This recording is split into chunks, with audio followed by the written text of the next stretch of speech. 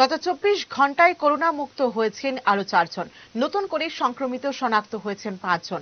স্বাস্থ্য দফতর শনিবার মিডিয়া বুলেটিনে জানিয়েছে, দুশো সাতানব্বই জনের নমুনা পরীক্ষা করে পশ্চিম এবং জেলায় দুজন করে, ঊনকোটি জেলায় একজন সংক্রমিত শনাক্ত হয়েছেন।